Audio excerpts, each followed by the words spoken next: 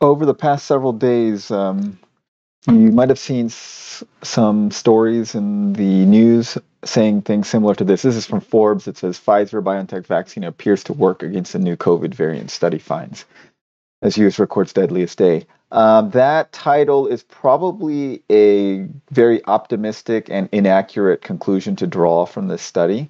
It talks about this new research. Um, that so there's been a couple of studies that kind of give us information on whether the vaccine is, should work with the new variants or not. And this is the study that they're referencing right here. So this is a joint venture um, between Pfizer and University of uh, Texas. So Pfizer here and Texas here. And what they did is they um, did a mutation at the 501 position. And so the way you interpret this thing is you remember that um, the spike protein is what's used in both the Moderna and the Pfizer mRNA vaccine. They use the full length spike protein, which is 1273 amino acids. So there's this is the receptor binding domain. That's the part that actually binds the ACE2. And at position 501, which is around here, um, they did a mutation from N to Y. And so N to Y means it was an asparagine and they changed it to a tyrosine. So that's the mutation that exists. And if you look at this is the B117 UK mutant, there's a N to Y at 501 right here.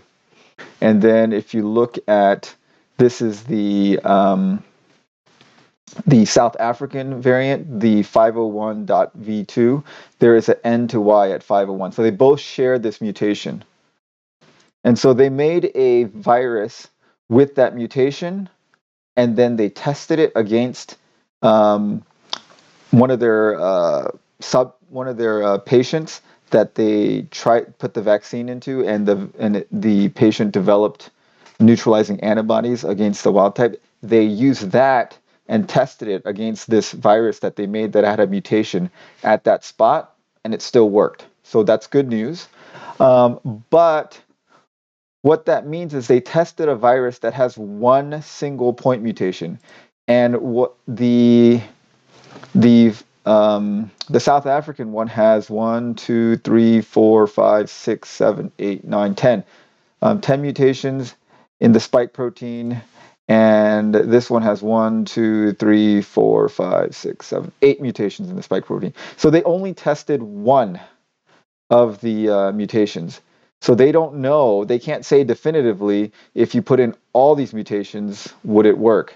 So I don't really know why they did it this way. I'm not I'm not sure why they didn't just get the um, the virus from the, the UK variant and the South African variant and just test it. But instead they decided to test a point mutation. Um, so yeah, if it had a single point mutation, you could take this study and say yes, it def it, it should work.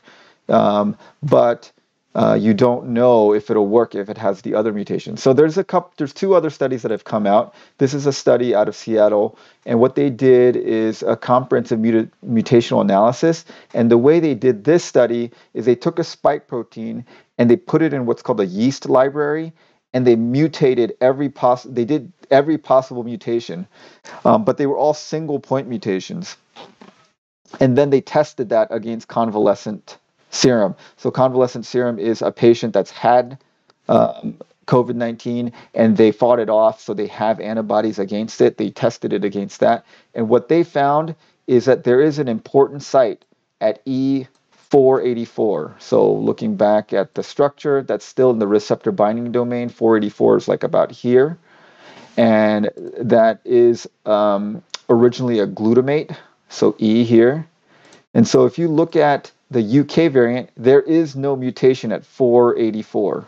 So this one does not have that mutation. That's the mutation that they found when they scanned all the possible mutations. Um, but they only did one mutation at a time as well. But they scanned kind of the entire length of the spike protein. They found the E, the E, the glutamate at 484 to be the most important. If you look at the um, the South African variant, there is a point mutation at E484. Um, it becomes a lysine. So it becomes from a glutamate to a lysine.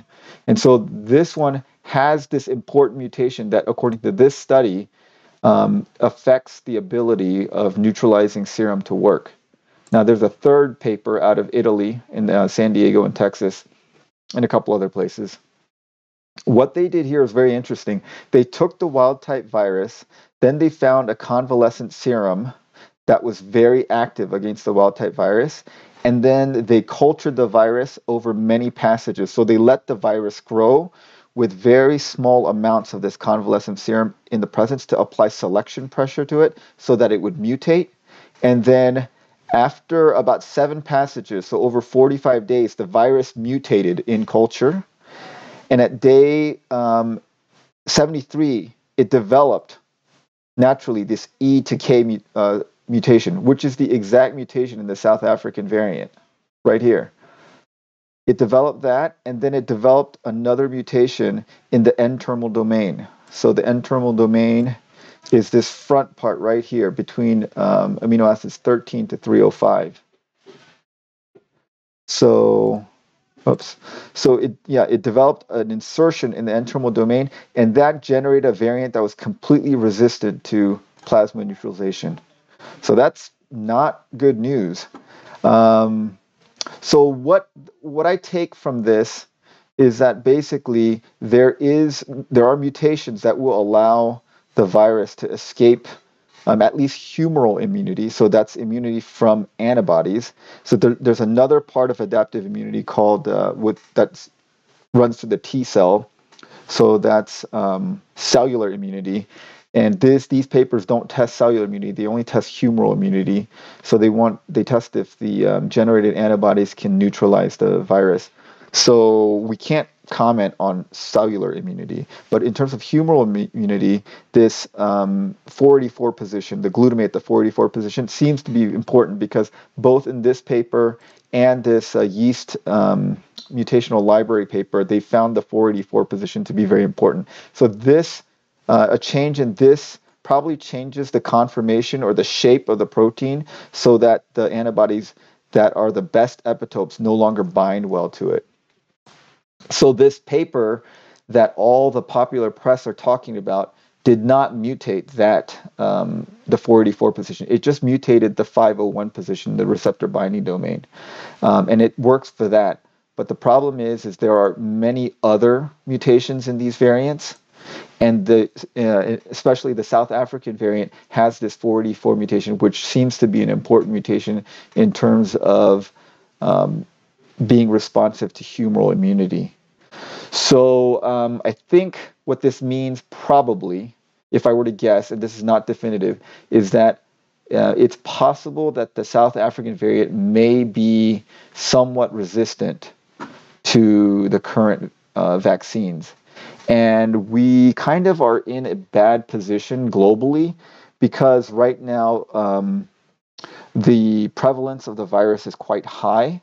That means that there's a large and robust population of virus uh, in the general population. And so there's probably a lot of genetic ver- diversity out there. And now we are vaccinating people slowly and so we're slowly applying selection pressure, which is exactly basically what they did in this study, where they just slowly increased the amount of convalescent plasma that they were subjecting this virus to over a long time. See, if they gave the full titer of the convalescent um, uh, convalescent plasma to the virus, it would just neutralize it all completely and it would never replicate. But they slowly just ratchet up the selection pressure. So what they're doing in vitro is is kind of what we're doing on the global scale. We're just slowly increasing pressure by by uh, vaccinating people slowly if we just vaccinated the entire world all at once in one day, ideally, we would just apply maximum pressure to it all at once and we could probably shut the thing down. But right now, we have a large, robust population of virus in the population with a lot of genetic diversity, and then we're slowly applying selection pressure by slowly rolling out this vaccine. And so, what that probably means, unfortunately, is that it is going to um, try to select for a virus that can evade um, the vaccine. Now, what I'm hoping is the case is that um, cellular immunity works differently, and the combination of the two may be able to overcome this, and it may still work. So the jury is still out on whether it 100% will work. Um, we just won't know until like the epidemiological data comes out uh, from the vaccinated people. But there is a lot more information now than there was two weeks ago when we first heard about the variants. So I hope uh, that was somewhat useful. And uh, if you have any questions, comment below. And thanks for watching.